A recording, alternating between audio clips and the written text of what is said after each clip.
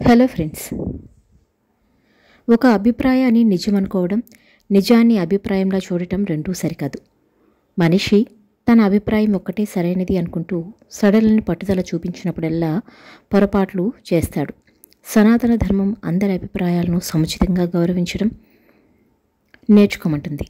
అది మంచి లక్షణం అంటుంది సనాతన ధర్మం సనాతన సమాజంలో ఉన్న తాత్విక ఆధ్యాత్మికత సామాజిక విలువలను పునాదిలా నిలబెట్టింది. ఇది ప్రపంచంలోని అత్యంత పురాతన మతాలలో ఒకటి. ఈ ధర్మం నిరంతరం సత్యాన్ని ధర్మాన్ని కర్మను మోక్షాన్ని మరియు అహింసను ప్రోత్సహిస్తుంది. త్రిమచారయుతంగా ప్రసిద్ధి చెందిన శంకరుడు రామానుజుడు మధ్వాచార్యుడు ముగ్గురు మహాగురువులు. పారమార్థిక సత్యాల అన్వేషణను భిన్నమనిపించే అద్వైత ద్వైత మార్గాలను ప్రతిపాదించారు. అవి తమ నిర్దిష్టమైన అభిప్రాయాల సారాంశమైన శ్రద్ధావులైన రుద్దడానికి వారెన్నడూ ప్రయత్నం చేయలేదు. ఆమోదింప చేసుకునేందుకు తార్కికమైన తమ వాదనలు వినిపిస్తూ సంవాదాలు చేశారే తప్ప వాంగ్మయ యుద్ధాలకు పాల్పడలేదు.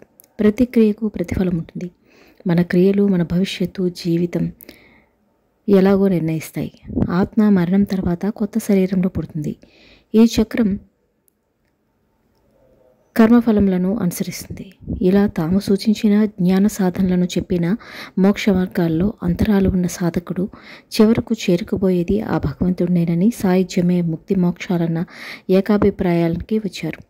పరస్పరం గౌరవించుకుంటూ వెలుపుచ్చినప్పుడు భిన్నత్వం కనబడే అభిప్రాయాల నుంచి సమస్యలు ఉత్పన్నం కావని నిరూపించారు.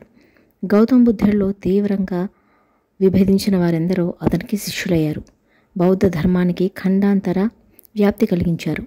అంగుళీమాల మొదట్లో హింసాత్మక మార్గాన్ని అనుసరించినప్పటికీ బుద్ధిని బోధనల వల్ల మారిపోయి ఆ హింస కరుణా మార్గాన్ని అనుసరించారు. చైనా నుండి భారతదేశానికి వచ్చిన ఈ యాత్రికులు బుద్ధిని బోధనలను అనుసరించి చైనాలో బౌద్ధ ధర్మాన్ని వ్యాప్తి చేశారు.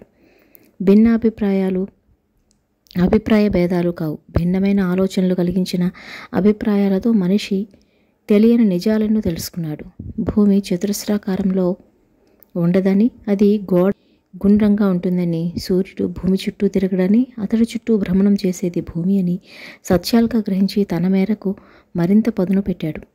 బుద్ధిని బోధనలు ఇప్పటికీ ప్రపంచవ్యాప్తంగా అనేక మంది జీవితాలకు మార్గదర్శకంగా ఉన్నాయి. అతని సత్యం అహింస కరుణ పట్ల ఉన్న పట్టుదల ప్రజల హృదయాలను గెలుచుకుంది. వ్యతిరేక భావనలను ముదురుతూ తన మనసంతా ఆవరించినప్పుడు మనిషికి కలిగేవే అభిప్రాయ భేదాలు. కాలక్రమంలో అవి కొన్ని దురప్రిపరగా రూపాంతరం చెందుతాయి. అవి మోతాదు మించినప్పుడు అతడు అసహనం అసూయ ద్వేషాలతో రగిలిపోతాడు. అహంకార భావన నిర్మించిన అడ్డుగోడల మధ్య నివసిస్తూ తన సమస్యలకు పరిష్కారాలు ఉన్నా అవి చెబుతున్నా వారున్నా పట్టించుకోరు. వారందరినీ కాలదన్ని దూరం చేసుకుంటాడు. ప్రతి వ్యక్తి జీవితంలో జరిగే అనుభవాలు వేరు.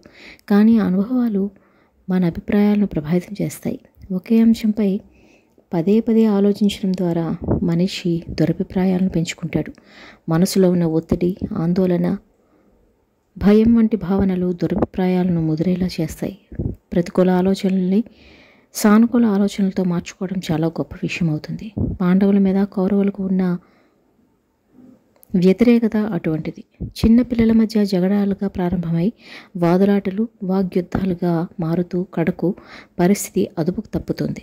కౌరవులు పాండవుల విజయాలు ప్రతిభలను చూసి అసూయపడటం వారిని హీనంగా చూడటం మహాభారత యుద్ధం తెలియజెపుతున్నది అదే అభిప్రాయ భేదాలతో మనిషికి ఆధిక్యత రాదు.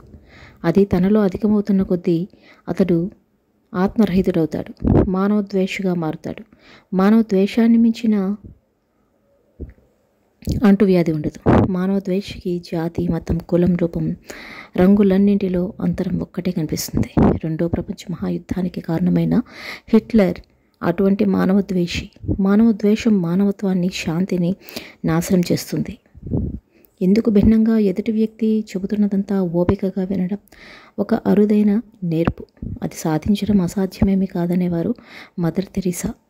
ఒకరి అభిప్రాయాలు ఒకరు గౌరవించడం తప్పనిసరిగా మర్చిపోకూడదని విషయం అనివార్యమే. ద్వైత భావనలతో జన్మమెత్తే మనిషికి అభిప్రాయాల్లో భిన్నత్వం ఉండటం అహజం కాదు. అవి అభిప్రాయ భేదాలుగా అభిప్రాయ భేదాలు దురభిప్రాయాలుగా మారకపోకముందే ఏకాభిప్రాయ సాధనకు అతడు ప్రయత్నించి సర్వస్వం సాధించినప్పుడు అతను విజయం సాధించుతాడు. పూర్తిగా సమస్య పోకపోయినా దాని ద్వారా పరిష్కరించడం సమస్యలను శాంతి సంభాషణల ద్వారా పరిష్కరించుకోవచ్చు.